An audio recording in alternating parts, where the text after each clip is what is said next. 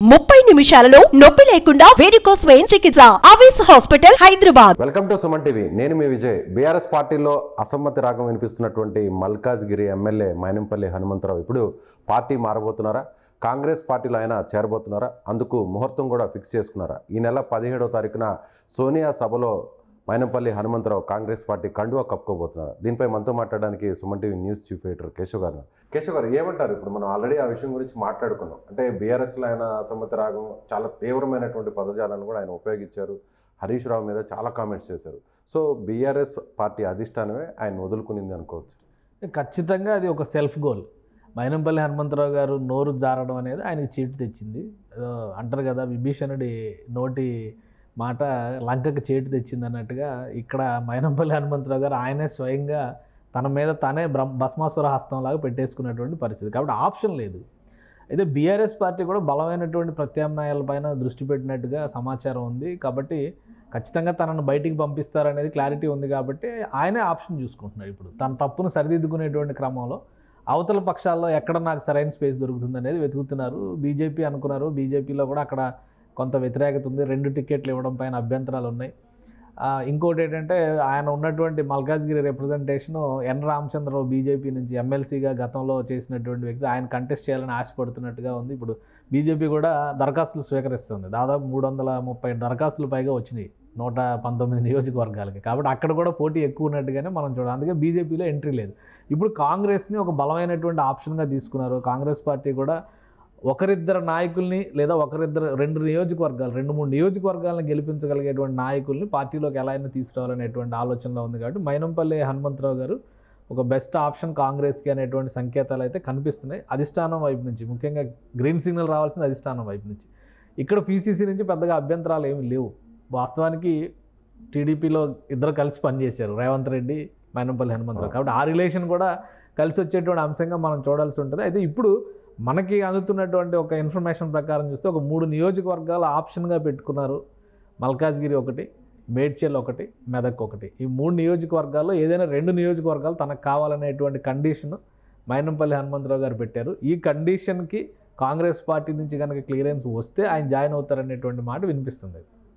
ఇంకోవైపు నుంచి మైనంపల్లి హనుమంతరావు గారు అనుచర వర్గం చేస్తున్న హడావుడిని బట్టి చూస్తే సెప్టెంబర్ పదిహేడో తారీఖు తెలంగాణ విమోచన దినోత్సవం విలీన దినోత్సవం ఏది తెలియనటువంటి స్థితిలో ఉన్న నేపథ్యంలో కాంగ్రెస్ పార్టీ చాలా సీరియస్గా విలీన దినోత్సవాన్ని చేయాలనేటువంటి కన్క్లూజన్ పది ఇచ్చింది లక్షల మందితో సభ కూడా నిర్వహిస్తాం సోనియా సోనియా గాంధీ గారు వస్తున్నారు అనేటువంటిది ఆల్రెడీ క్లారిటీ ఇచ్చారు. ఈ హంగామాలోనే పార్టీలో జాయిన్ అయితే ఒక జోష్ వస్తుంది అనేటువంటి ఆలోచనతో మైనంపల్లి అనుచర వర్గం ఉన్నట్టుగా ఒక సమాచారం వస్తుంది. కాబట్టి ఒకటి రెండు రోజుల్లో క్లారిటీ వస్తే ఈ మూడు నియోజకవర్గాల్లో రెండు ఆప్షన్ తీసుకోవడానికి కనుక కాంగ్రెస్ అధిష్టానం కనుక ఓకే చెప్తే ఖచ్చితంగా మైనంపల్లి హనుమంతరావు గారు కాంగ్రెస్ కండువా కప్పుకునేటువంటి పరిస్థితి అయితే స్పష్టంగా కనిపిస్తుంది. ఈయన్ని ప్రత్యేకంగా కన్సిడర్ చేసే అవకాశం ఉందంటారా? అంటే రెండు టికెట్లు ఒకే ఫ్యామిలీకి లేవు అని చెప్పినటువంటి తరుణంలో ఈయన వరకు ఎగ్జామ్షన్ ఏమైనా ఉంటుంది? అంటే ఒకటి ఇక్కడ ప్రాబ్లం ఎలా వస్తుందంటే రెండు టికెట్లు ఒకటే ఫ్యామిలీకి అనే దగ్గర భార్యాభర్తలకు టికెట్లు అడిగిన దగ్గర సంక్షోభం వస్తుంది.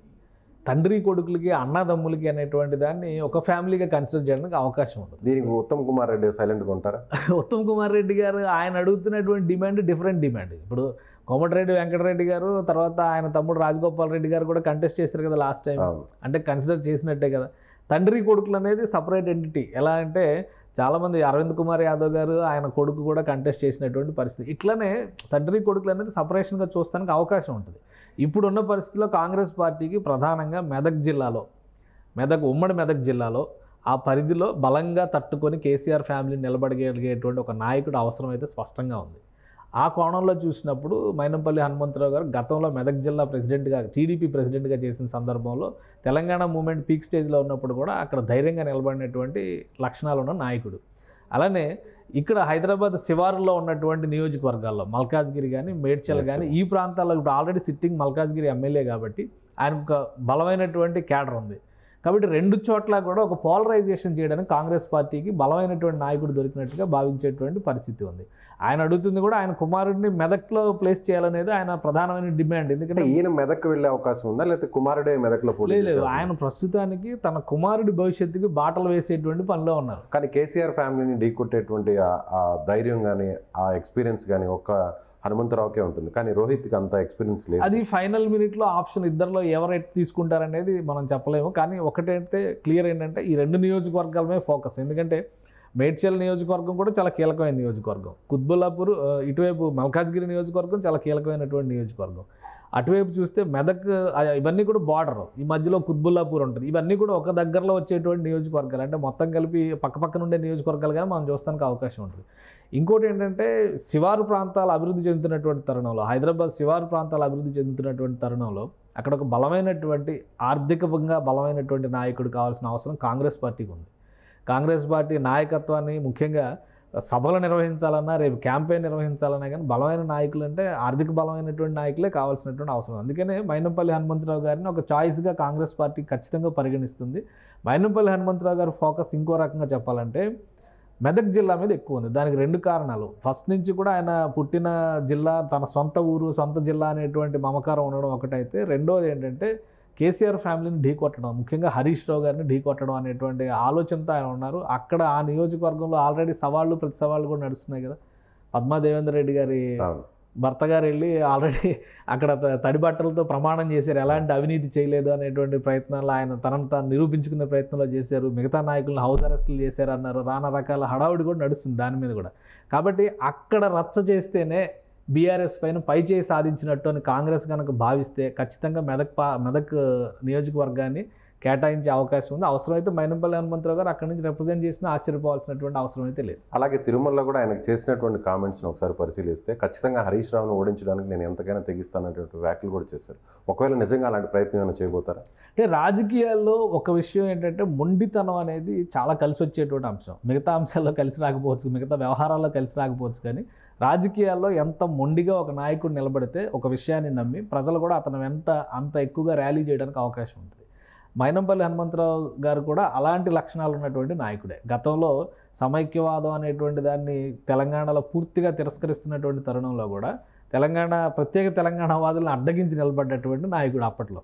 తర్వాత మారిన తర్వాత తెలంగాణకు అనుకూలంగా మళ్ళీ తన వైఖరిని మార్చుకోవడం సొంత రాష్ట్రం వచ్చిన తర్వాత స్వరాష్ట్రంలో జరిగినటువంటి పరిణామాలు ఇవన్నీ కూడా ఆయన మనం గమనించాం. అలానే పదవి వచ్చిన తర్వాత కూడా కేసీఆర్ గారు వీర విధేయంగా ఉండాల్సినటువంటి అధినాయకుడి విషయంలో కూడా ఆయన పెద్దగా ఏమీ అంత సీరియస్గా తీసుకున్న దాఖలాలు ఏమీ కనబడవు. అందుకనే కేసీఆర్ ఫ్యామిలీలో వ్యక్తి అయినా కానీ హరీష్ రావుని ధిక్కరించడంలో కానీ ఆయన్ని కించపరచడంలో కానీ ఆయన చేస్తున్నటువంటి వ్యవహారాలను బాహాటంగా ఖండించడంలో కానీ హనుమంతరావు గారు ముందున్నారు. బహుశా ఈ ఐదారేళ్ళు కొంత స్తబ్దుగా ఉండి ఉండొచ్చు కానీ బట్ ఆ విషయంలో రాజీ పడి ఉన్నారంటానికి కూడా అవకాశం లేదు. కాబట్టి ఈ రాజీ పడని ధోరణిని ప్రజలు ఇష్టపడడానికి అవకాశం ఉంటుంది. రాబోయేటువంటి రోజుల్లో రాజకీయాలు ఇంకా వేడెక్కేటువంటి పరిస్థితి ఉంటుంది. మొన్నటి వరకు బీజేపీ నాయకులు చాలా దూకుడుగా వ్యవహరించారు. ఇప్పుడు బీజేపీ కంటే కూడా కాంగ్రెస్ పార్టీలో దూకుడు ఎక్కువ కనిపిస్తుంది. కాంగ్రెస్ పార్టీలో చేరేటువంటి నాయకుల సంఖ్య ఎక్కువ కనిపిస్తుంది. అలానే కాంగ్రెస్ పార్టీ యాక్టివిటీ పెరిగింది. విభేదాలన్నీ పక్కన పెట్టి నాయకులందరూ కలిసి ముందుకు వెళ్దాం అనేటువంటి పరిస్థితి కనిపిస్తుంది. విచిత్రం ఏంటంటే ఒకరోజు వాళ్ళే అలుగుతారు. మరుసటి రోజు మళ్ళీ వాళ్ళే ప్రెస్ మీట్ పెట్టి మరి మేము పార్టీలో ఉన్నామని తేల్చి చెప్పేటువంటి ప్రయత్నం చేస్తారు. ఈ ఈ ఈక్వేషన్స్ కూడా చాలా విచిత్రంగా ఉన్నాయి. అంటే ఎన్నికల ముందర ఎటువంటి పరిణామాలన్నీ కూడా కాంగ్రెస్ పార్టీ ఖచ్చితంగా కలిసి వచ్చేటువంటి పరిణామాలుగానే కనిపిస్తున్నాయి. కాబట్టి బలమైనటువంటి నాయకులు కూడా కాంగ్రెస్ పార్టీలో జాయిన్ అయితే అది సీట్ గెయినర్స్గా మారేటువంటి అవకాశం ఉంటుంది. అంటే ఒక్కొక్క అసెంబ్లీ సీట్ గెలవగలిగేటువంటి స్థా- బలం ఉన్న నాయకులు ఒక రెండు మూడు సీట్లలో ప్రభావం చూపగలిగినటువంటి నాయకులు పార్టీలోకి వస్తే రేపు ఆ పార్టీకి ఖచ్చితంగా అది అడ్వాంటేజ్ అయ్యేటువంటి అవకాశం ఉంటుంది. Right sir. Thank you thank you so much. ఇది కేశవ్ గారు చెప్పినట్టుగా ఖచ్చితంగా మల్కాజ్గిరి మేడ్చర్ అలాగే మెదక్ ఈ ప్రాంతాల్లో ప్రధానంగా ప్రభావితం చేసేటువంటి సీనియర్ నాయకుల్లో మైనంపల్లి హనుమంతరావు కూడా ఒకరు. అదేవిధంగా కాంగ్రెస్ పార్టీ కూడా కేసీఆర్ ఫ్యామిలీ మీద ఈయన ఒక అస్త్రంలా కూడా వాడుకునే అవకాశం ఉన్నట్టుగా కేశవ్ గారు చెప్తున్నారు. Thank you thank you so much.